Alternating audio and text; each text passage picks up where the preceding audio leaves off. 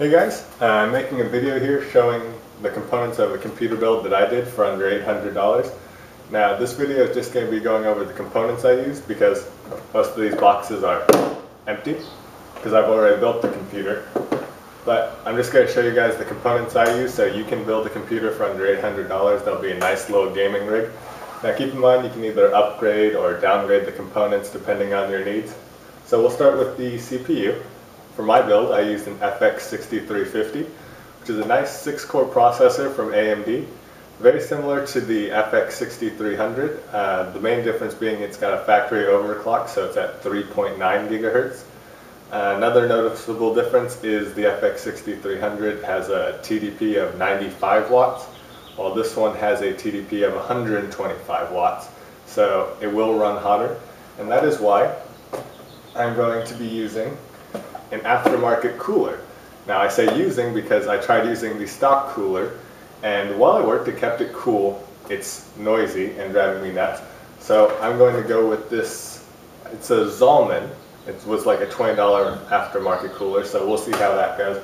And hopefully it'll run quieter. And so far it looks pretty nice. I mean, we'll just pop this open. It's got uh, a couple of copper pipes three of them, so we'll see if it transfers the heat well. It's got a nice fan on it, and it'll help uh, blow air out the back of the case, so hopefully it'll work better than the stock cooler, but we'll see about that. So that's that.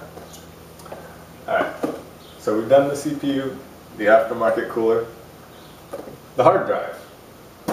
Now, for all the prices on these components, I'll have them listed in the video in the description, so I'm not going to go over them here. This is a 2 terabyte Western Digital hard drive, nice known company. I like to use a well-known company for my hard drive because the operating system is so darn expensive and the information you put on the hard drive you do not want to lose just because you, you went cheap on the hard drive. But 2 terabytes, that's going to be more than plenty for most people's needs. I could have gone with the 1 terabyte, but this was like $5 more. So I was like, why not $5 for an extra terabyte? I'll do it. So there's the hard drive. Not a whole lot to say about that. Windows operating system. Uh, yeah, Windows 7. Not a Windows 8 guy. I tried it. Didn't really like Windows 8. But uh, it depends on the person. Some people like Windows 8. I like Windows 7. Simple, I understand it, and I don't like the tablet-like interface of Windows 8. So I stuck with Windows 7. But that's up to your personal preference. The RAM, I went with Ballistix RAM. See the empty case? It's already in the computer. But 8 gigabytes of RAM, that's going to be more than enough for most people's needs. You could do 16 gigabytes, but just for, if you're just using it for gaming like I am, I really don't see the point in using 16 gigabytes. With the configuration I've set for my computer, uh, yeah, there is no need for 16 gigabytes. So I went with 8 gigabytes, and that'll be more than enough for my needs. And the reason I went with Ballistix RAM, it was the cheapest RAM I could find that was at 1600 megahertz, so it's got a nice high clock speed. Not the highest, but certainly faster than 1333. And most of these brands are going to be decent RAM. I don't know of any uh, RAM manufacturers that people generally don't trust.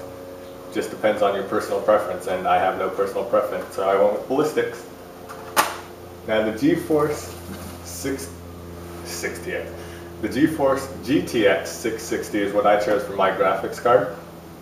I am an NVIDIA guy. You may be an AMD guy. You may not care. Doesn't really matter. My first graphic card was a GT430 from Galaxy, so I like Galaxy, so I stuck with them. And the GTX 660 is going to be a nice graphics card for gaming.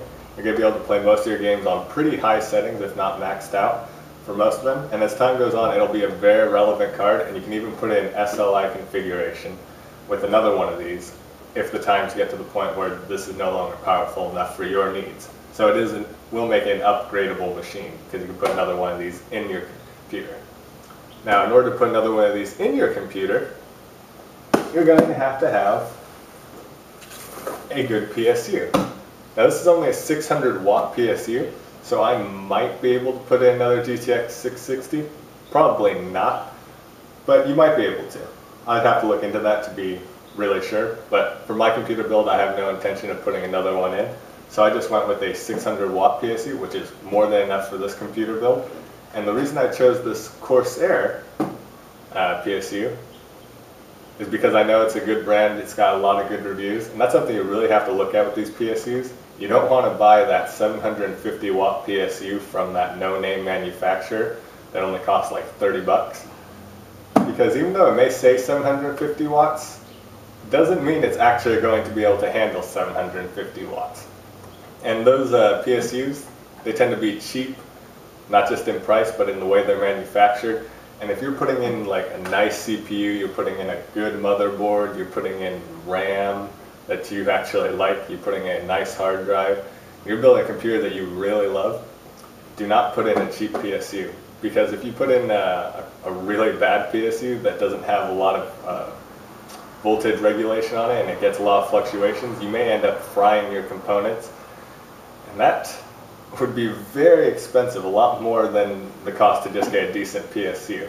Now the thing you want to look at on a PSU is, number one, is it 80 plus certified? It doesn't have to be to be a good PSU, but it really should be because that just shows the efficiency of it. So you want either 80 plus or 80 bronze or 80 gold or 80 silver, I believe. I think they even have an 80 platinum, but I'm not entirely sure about that. And then when you're looking at these PSUs, the thing you want to look at is the different rails they have. Now I'm going to try and get in on this, and let's see if we can see those. See those numbers there? Now those are going to be your different rails. So you've got your 3.3 volt rail, your 5 volt rail, 12 volt rail, negative 12 volt rail, and then this last one, I have no idea what it is. But anyways, the one you really want to look at is this 12 volt rail.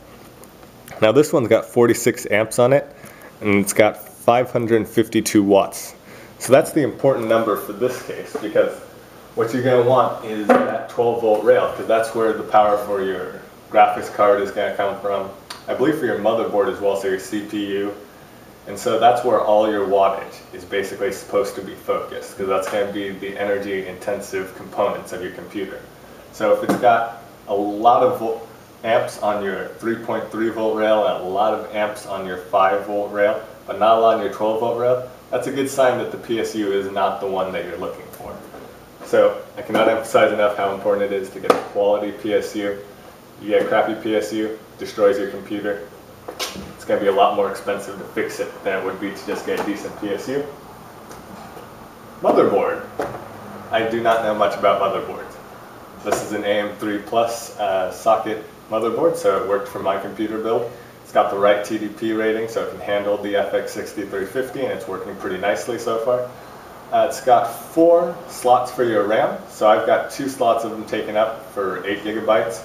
So if in the future I ever did need that 16 gigabytes, I could just stick two more RAM slots in, or two more RAM modules into the slots. And yeah, so I like this motherboard. Uh, not much else to say about that. Didn't really look much into it. Didn't have any problem putting the FX6350 in, BIOS recognized it, so that was very convenient. And overall, good motherboard so far. Okay, this is an optional thing. This is going to be a media reader, so you can put in your, uh, maybe your digital cameras, uh, what are those things called? The little memory modules for your, uh, your little memory, the little memory modules for your uh, either your camcorder or your camera.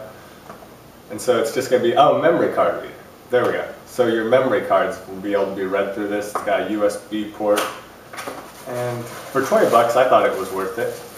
And yeah, it's going to be a nice little addition to a computer. Like I said, it's not necessary, but something I wanted for my computer build. So I bought it and I'm going to put it in. Have yet to do so though. And now for the last component of my computer build, and this is the most visual component of your computer build, your uh, case.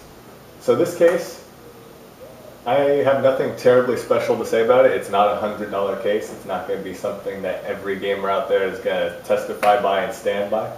But it's a case that I like because, number one, it was affordable. With shipping, it came out to like less than $50. And it looks nice. I mean, it's big. It's a mid ATX case. So it's not like your standard one that you buy at Walmart. It's bigger. But from the front, it just looks like a nice, clean, sleek computer, which is what I wanted. On the side, it's got a nice uh, plastic cover. Yeah, I said plastic. It's not glass or anything, not plexiglass. But anyways, you can see the components on the inside, and with my amazing cable management skills, it looks mediocre at best. But I still like having the ability to see my components on the inside, and maybe I'll fix it up later. But yeah, it's a good case so far. Uh, it's pretty sturdy. The only thing that I have a little bit of an issue with and that I've heard reviewers say about is this front vent here is supposed to allow air in. And so I put a fan up front to draw, try and draw more air into it. But a lot of the reviews said that with this case enclosure in the front closed, it had trouble bringing air into the case. So far I haven't had much an issue with it. Like I said, I just put a little fan in there to help it out. But if you open the case front, you'll be able to see that it'll draw in air pretty nicely. It's got an air filter in the front, so it's overall it's a nice case. And I believe without shipping it goes like $35 or something. So it's not an expensive case, which I liked. I wasn't looking to spend a fortune on a case, and it's a nice, aesthetically pleasing case. And it's got these vents on the side where you can stick another fan on. So overall, if you were to buy this case, you'd be able to get some nice air ventilation going through it. And I don't think you'd be disappointed with the build quality of it. So this is the case I chose and it worked out nicely. Now those are all the components that uh, I used for my computer build and as I said earlier, I'm not going to be showing you guys in this video the build of it in any way. But if you want to see later in my other videos I'm going to be uploading in the next week or so, I'm going to be reinstalling a new CPU cooler. So I'm just going to show you guys how to install the FX6350. It's really easy. And then I'll just be showing you guys how to actually remove thermal compound because I have to get that old uh, compound off the old cooler and the CPU so I can put in the new cooler. And then I'll be showing you guys how to install the RAM modules. Really easy if you guys don't know how to do it, but I'll be showing you guys anyways just because it'll take literally like 30 seconds. And I'll probably be showing you guys how to install this little guy. Considering he has one cable, it's going to be a pretty short video, so I'll probably also be showing you guys how to install your either the DVD-ROM drive or the hard drive, just because it'll take like another minute or so and it'll be an informative video if you don't know how to do it. I learned how to do it while building this computer and I was surprised how easy it was, so I want to show you guys how to do it if you don't know how to already. Uh, if you enjoyed the video, uh, please like or subscribe or both, that would be wonderful. And I thank you for watching this video and I hope it helped. You guys have a good day.